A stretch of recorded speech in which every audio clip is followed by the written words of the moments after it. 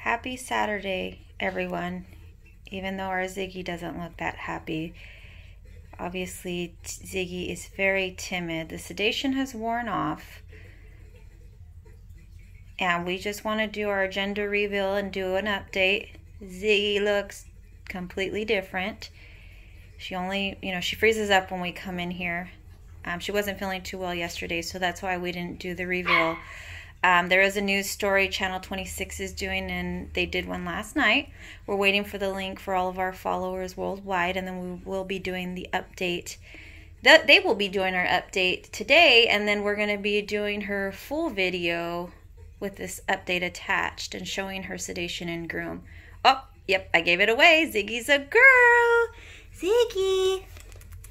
Look, look. She's so scared, poor thing. She doesn't want me to get too close. She doesn't really know what a toy is. Look at what is that? What is that? She's so scared. But we have some wonderful news. We have an interested foster to permanently adopt Ziggy. And they went through the, the exact same thing with their male dog. Didn't know the gender, you know, abuse, PTSD, have the patience and love, and they're willing to, they want to adopt her. So it's all thanks to the news story on Channel 26. So thank you, Sheldon, for reaching out again and watch for our update. Um, she does like the meatballs, but she, of course, won't eat it until I leave it. She's so pretty. Maybe what do you guys think on the breed? A schnauzer mix, schnauzer cocker. My um, coworker was kind of thinking, and I think she looks like she could be that mix, but I'm not too familiar with the fluffy breeds. Um, but looks like the schnauzer markings. She had that schnauzer cut. I'm sure she looked like a schnauzer. Oh, look. She loves the meatballs. She's got her appetite back today after getting that sedation yesterday. Yeah, she really just didn't like that. Um, when hubby went to get her, he had to go the back together. It was the to get her. That was the first time she growled because you know a lot was going on. She was scared. She didn't know what was going on.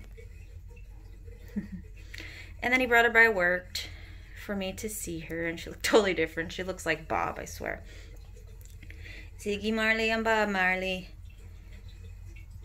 And thank you everyone for your support and your donations and your concerns. Um, she has a long road to recovery, but I am so super excited that we have a home that is interested in the foster to adopt that's going to end up keeping her and putting in that love because the fosters, you are the ones that help us save these lives you know, it changes their lives, it rehabilitates them. They get that one on one with less dogs. We have a lot more dogs than most people.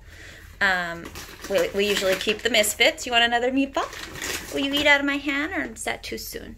Is that too soon? Is that too soon? Too soon, huh? Too soon. She's like, duh.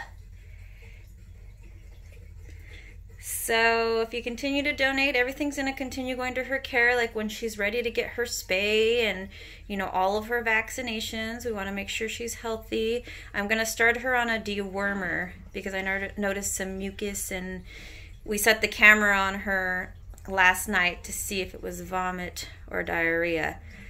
Um, and nothing has come since. She's just been trying to get comfortable. She's cold now without all that matted fur. So just stay tuned for that video. It's going to show from the beginning to now.